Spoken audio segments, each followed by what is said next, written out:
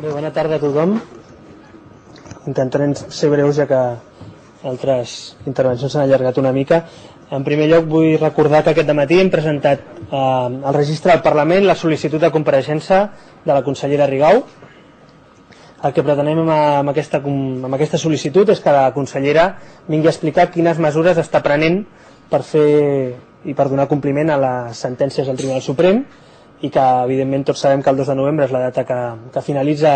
aquest ultimàtum que el Tribunal Superior de Justícia li ha posat i per tant volem saber quines mesures està prenent la consellera i la pròpia conselleria per aplicar aquest sistema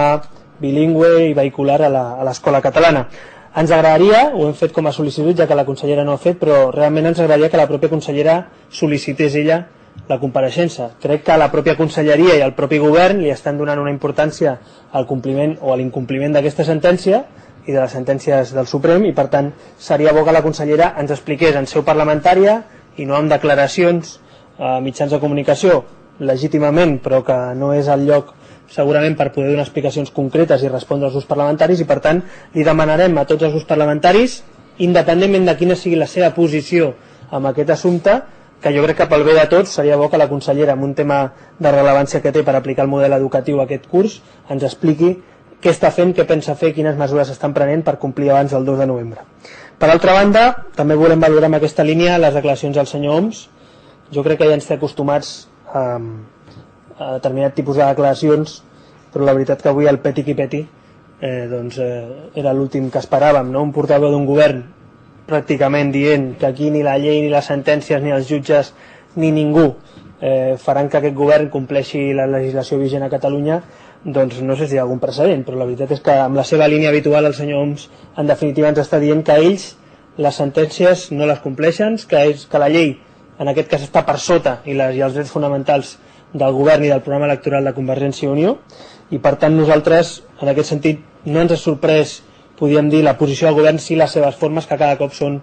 doncs, més radicals. No? En aquest sentit, li demanem al conseller, li demanem al senyor Mas que no s'enroquin en posicions eh, eh, posicions insostenibles en democràcia i que al marge del que pensin compleixin. I si no, lògicament no és obligatori ni ser portaveu, ni ser mi conseller, ni ser president de la Generalitat. És a dir, no és obligatori, però sí que és obligatori complir les lleis. En aquest sentit, nosaltres volem recordar que aquí al Parlament de Catalunya, des de fa ja més de 5 mesos, eh, Ciutadans va presentar la segona proposta que va fer en aquesta legislatura, la modificació, l'adequació de la llei d'educació de Catalunya, la LEC, eh, a la literalitat de les sentències doncs mai millor que ara per debatre aquest assumpte i per poder incorporar literalment el text del que diuen les sentències i que la llei quedi ja definitivament clara, que no s'hagi de portar la llei amb la sentència darrere, sinó de cara en endavant quedi ben clara que les dues llengües vehiculars a Catalunya són el català i el castellà. Aquesta proposta, insisteixo, té tots els plaços i tots els terminis complerts, però mm, fins ara a la mesa del Parlament i en aquest cas tampoc la Junta de Portaveus ha decidit poder debatre aquest assumpte. Insisteixo que per terminis hauria d'haver ser debatut o com a mínim portat a l'ordre del dia. Demanarem a la següent Junta de Portaveus, però ho farem lògicament a tots els grups que puguin estar posant impediments, doncs que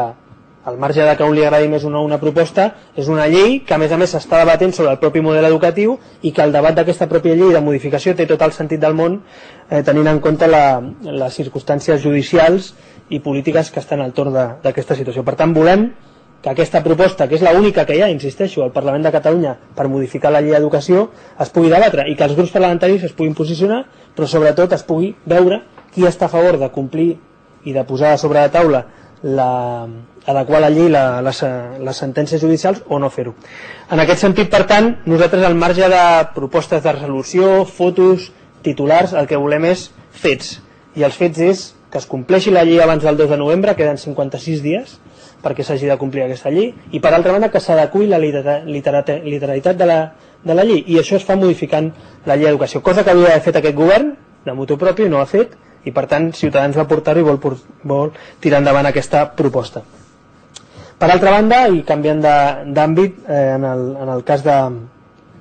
del debat que s'està tenint sobre el sena, dels senadors i també en el ple extraordinari que de Ciutadans juntament amb Solidaritat Iniciativa i Esquerra va demanar, sí que hem de lamentar doncs, que la mesa del Parlament novament hagi tingut un doble criteri a l'hora de, de valorar aquestes sol·licituds. És a dir, un ple demanat per tres grups parlamentaris, 27 diputats, que compleix tots els requisits, que hauria d'haver anat a la Junta de Portaveus avui, doncs ha sigut menys tingut i no s'ha volgut incloure i no s'ha volgut incorporar aquest ple en aquesta setmana un ple extraordinari per debatre sobre la reforma constitucional, insisteixo, cadascú a la seva posició política. I en canvi sí que hi ha hagut una tramitació d'urgència, és a dir, ho hem aprovat aquest matí i aquesta tarda, ara mateix, compareixen en poques hores els senadors, quan realment el debat que s'ha de produir és, si s'ha de produir, i així ho entenem nosaltres, és la posició dels grups polítics del Parlament de Catalunya. Per això es va sol·licitar aquest debat. Insisteixo que al marge de les diferències entre grups parlamentaris. Per tant, no entenem la posició de la mesa, no entenem aquesta posició d'intentar buscar